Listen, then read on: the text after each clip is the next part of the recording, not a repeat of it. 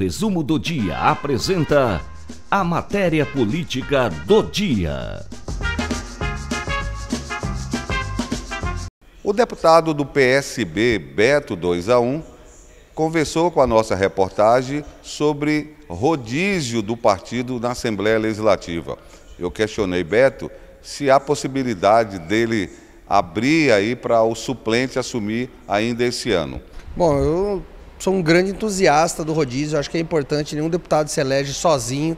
Nossa, o grande segredo do PSB é a nossa, é a nossa união, é a nossa, o nosso grupo fortalecido, né? O nosso deputado, nosso presidente Max Russi teve essa conversa sempre muito clara com a gente. Nós já tivemos um rodízio, o Rony Magnani já assumiu alguns dias aqui e eu não tenho dúvida que nos próximos dias, tanto eu, quanto o Max, quanto o Fabinho, estaremos fazendo esse rodízio para que a gente possa contemplar os colegas. Eu acho que partido se faz em grupo, eu acredito nisso, sou grato a cada um dos colegas que estiveram nessa nossa chapa pese, que, que se pese né, uma das chapas mais vitoriosas dessas eleições para deputado estadual, com quatro deputados eleitos, e logo, logo vai chegar minha vez aí também.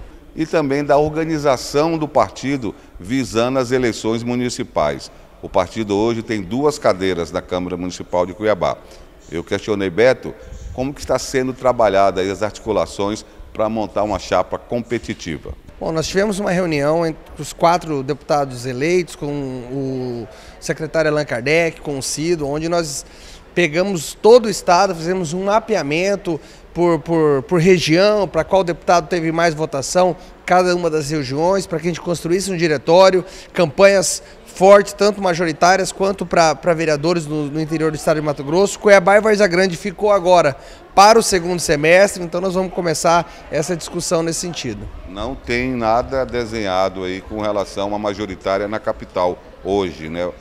É, vindo do partido e do PSB, né? Nesse momento ainda não, é, existe, temos bons nomes, secretário Allan Kardec, eu sempre tenho falado, nós, o PSB tem o, um privilégio de ter grandes nomes, tanto em Cuiabá quanto em Varza Grande, muito se fala do Fabinho, teve 18 mil votos só em Varza Grande para deputado estadual. Então nós temos grandes nomes, mas como nós combinamos, no segundo semestre agora nós vamos começar esse debate entre Cuiabá e Varza Grande.